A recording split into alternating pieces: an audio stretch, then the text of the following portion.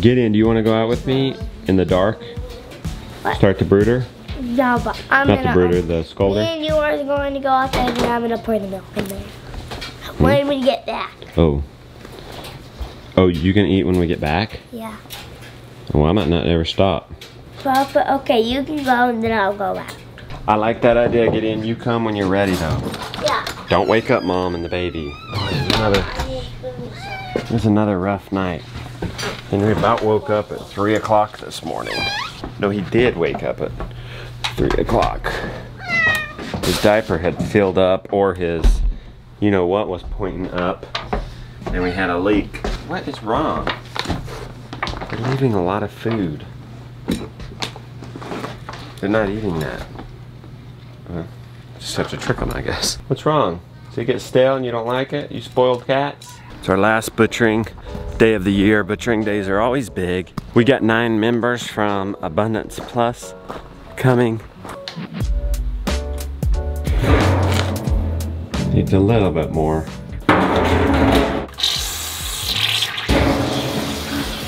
It's gonna be a good day or a bad day? Well, it all depends on if this starts, the scalder starts or not. Although Hilda taught me there are no bad days. Sure, there are sad days, but there are no bad days.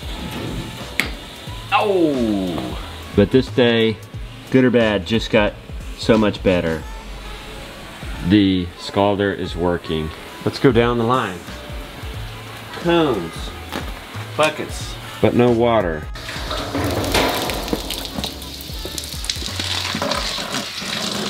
What are these buckets of water for underneath these cones? Well, the blood from the kill goes into this and the blood doesn't congeal as bad. And it's easier to go put this as fertilizer on our field. Next up, the scalder, which is heating up. It's already come up five degrees. The plucker near plug. Oh, turned the wrong direction. That actually might be all right. Well, no, not really, because the switch is in the back. We Turn this this way. Just put the feathers out behind us. And the water for that matter. And the switch will be right there. We should probably go ahead and test this.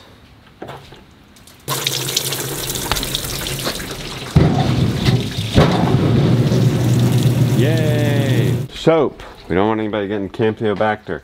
The sink to wash your hands. Eviscerate. Eviscerate. A hose to spray that down. Another eviscerating table. Gut bucket. You need another gut bucket. And we got butchering knives and trays for our offal.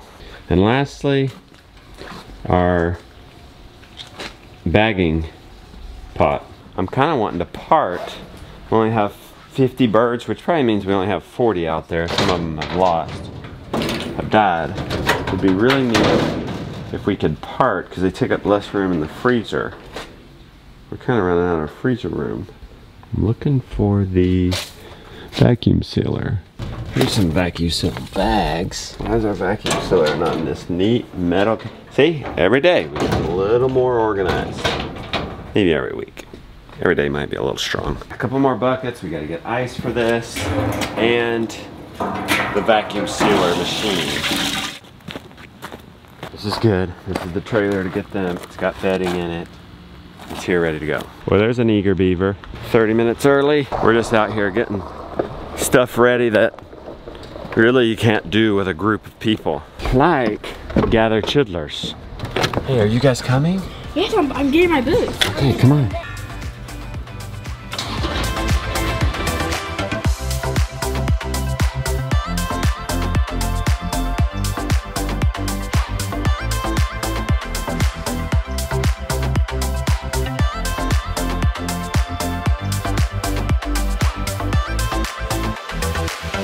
Three people here, Lombardi time. That means 15 minutes early. It's got a washer. Hey, y'all are crooked there. Okay, you got a washer. Think? Maybe it's worn out? Oh, you know it's leaking out of this, so it has nothing to do with the washer. Let's try, let's try that. What's your name and where are you from? Hold that for me. My name This is feels like a magic trick. my name is Sharon I wish. Lamont. Okay. I'm originally from Rhode Island and I moved to Asheville in 1984. Okay. Raised two children there. They're 35 and 32. Yeah. I'm a jazz singer, so when I start my YouTube channel, I think I'm going to be the singing gardener. Oh, I like it. I like it. That worked. That kind of felt like we were doing a magic trick. We'll, we'll call it that. Real quick, where are you from? Alberta, from. Canada. Oh my. We'll pause for a minute. Wow. Wow. Canada. That might be our one guy. Georgia. Savannah, Georgia. Georgia. Florida, Tampa, Florida. Virginia. And Asheville. Okay. Y'all ready to get some chores done? Okay.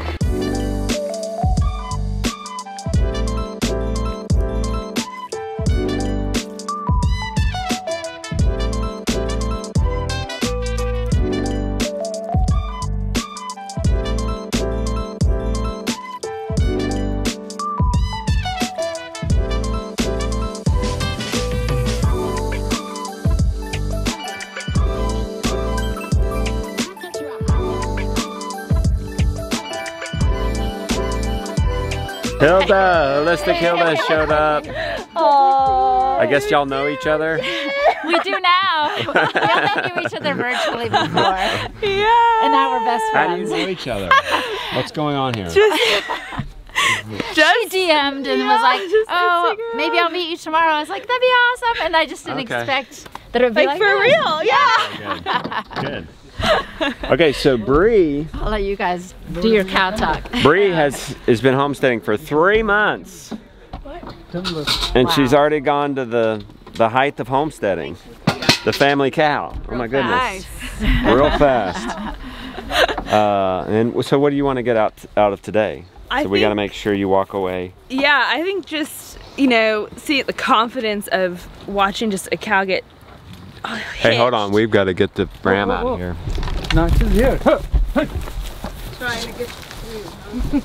For me, I think it's just my confidence in Okay. approaching my cow, not getting kicked. Okay. I'm terrified of getting kicked. Okay. I know it's gonna happen. I'm going to show you how to get kicked. Okay, awesome. What else?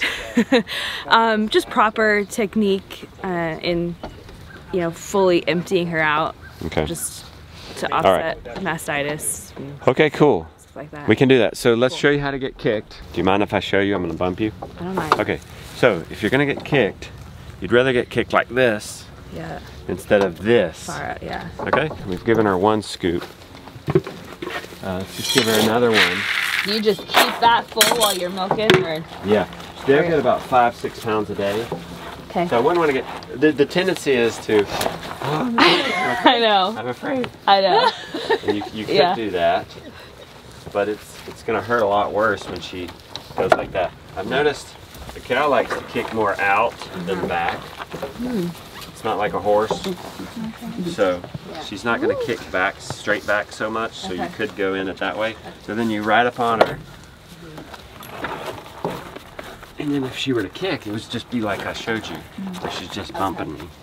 Oh, that's aggressive. Oh, you gotta be aggressive. Yeah. Okay. Yeah, people are like, what? You know, but Does that help bring the on milk down I'm, when I'm do really getting uh, any any dirt or manure off. Yeah. You cannot hurt. Have you ever seen the calf nurses thing? They're bumping it and kicking it. See, that's cut. Uh-huh. That's that's normally she's not going to kick me, but if she's got a sore teeth like that, Yeah. and there's a combination. You know, is she hurt? Is her teeth hurt, or is she out of feed? We squirt out three squirts Okay. because guess what? It helps If clean it that- up. Yeah. nature plugs that and that's where the bacteria is going to be. it's, it's protecting bacteria from going up in there Okay. but your bacteria is going to be in that plug so she's she's empty so the calf got to her so then to get milking a kick a, a kicky cow you can you go like this and right up on it kind of behind okay and then I'm getting my left hand right there. Okay? And then when she goes to kick, your left hand's there and you can ward it off a little bit. Feel it. Okay. Yep. You'll and you'll stop it right here, not here. Always keep that left arm on her. All right, everybody ready to do this? Yeah. Everybody get their cows done up there? Yeah, thank you. Everybody got their cow fix? You ready to? I, I feel Milk your so Dexter? confident. Oh yeah. Oh Okay, yeah, it's good. happening. I'm not Okay. waiting any longer. She's Good for you. Good for when you. I get home. Oh my goodness. What is going on? I'm ready for the party. Uh oh. It's a party now. Well, Let me put my heels on. Hold on. you're gonna be sorely disappointed in heels. Wait, I thought we What kind were of party doing did you think this was? The chicken dance.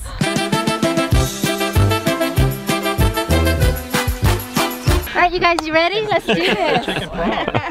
here we go. Here we go. Okay. Ready?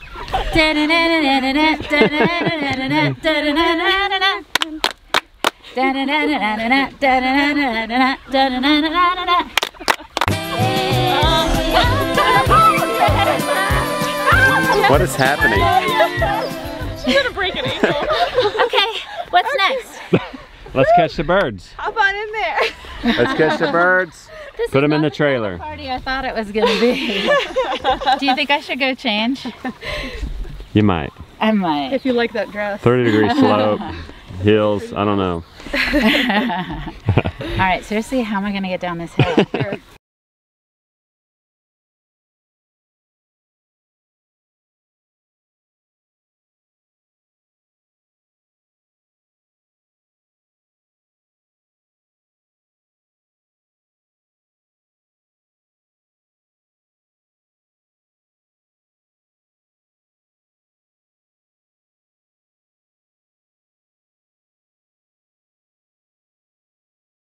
You might be a crazy chicken lady if you travel hours to butcher somebody else's chicken. Yeah.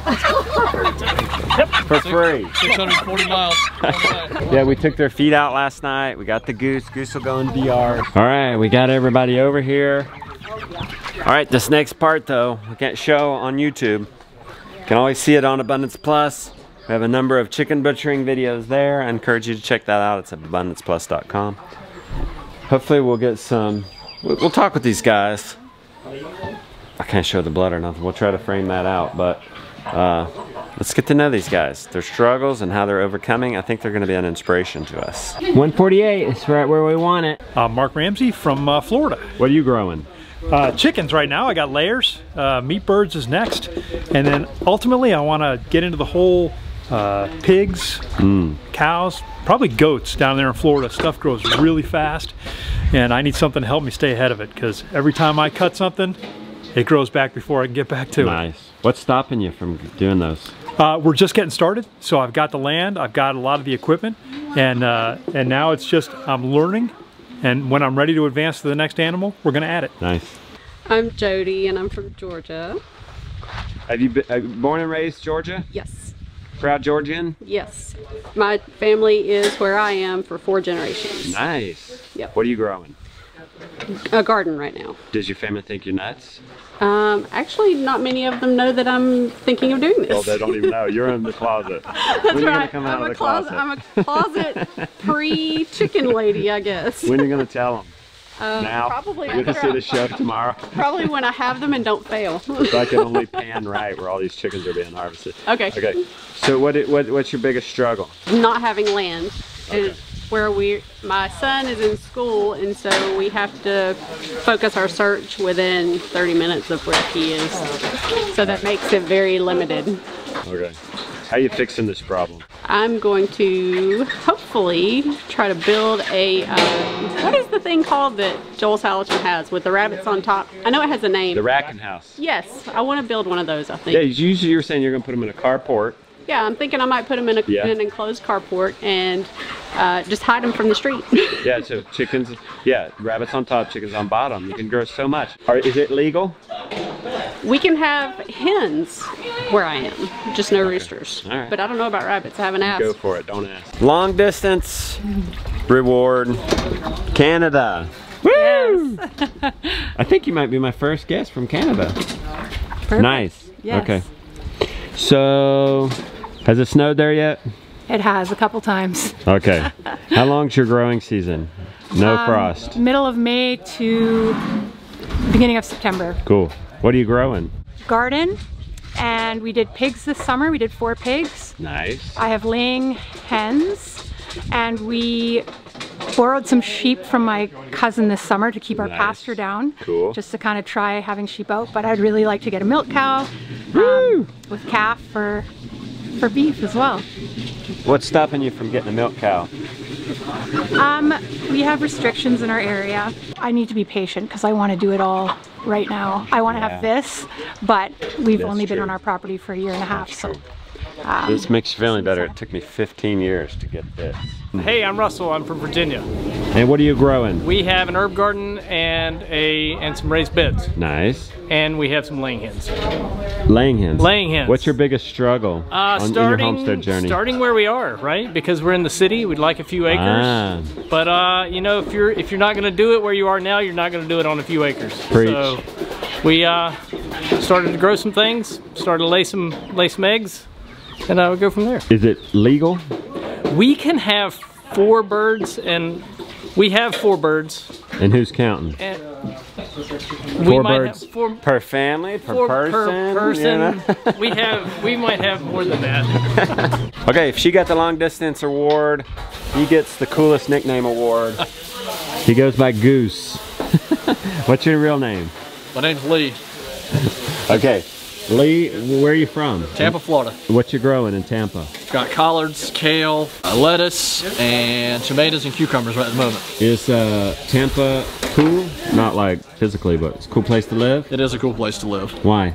Well, we have, I'm 20 minutes from the beach, and I'm 20, 30 minutes from this. Not Nice. not the mountains, Nice. but at least a little bit of um, a little bit of uh, country. What's your biggest homestead struggle? Going to the next level, the what's, next step. What's the next level for you? Meat chickens. Ah, well, what's what's stopping you? Uh, nothing yet. I just have. Uh, I wanted to get a hands-on experience doing the processing and you know doing it the right way prior and and you know learning from uh, you guys. I've watched you guys, my wife and I, for since April of last year. Nice. So it's been uh, it's been a, been a fun a fun journey to to learn and, and to, to and to just be a part of. Bree, Hey. if if he wins the cool nickname award, you win the accelerated high speed Crazy award. homestead lady award. Three yeah, months. yeah, pretty much. Got the family cow. Uh, what's your biggest struggle right now? I think sourcing things, you know, wanting to Yeah. make sure the nutrition is there and knowing where to go and buy it and um, find it. Lots of local feed stores, they don't carry what Yeah. what we want and how we want to raise our animals. So um, just What's an example? Um, I was, you know, looking for mineral supplements for the cattle and, you know, Tractor Supply, you just have the blocks. And Yeah, no. like you were saying, with minerals, they need to be free choice with a lot of different options for what they need. So now having to outsource and find find stuff and just you know finding animals too and knowing who to buy from. It's kind of you know Yeah. I I accept I'm probably gonna get a, a lemon here and there, but I think you just have to try and Yeah. do it. You win the coolest apron award. I'm interested in having a homestead. Cool. Um, enrolling my children to get involved with me. Nice. Um, You're you're wooing them to get involved. I am wooing How old are them. they?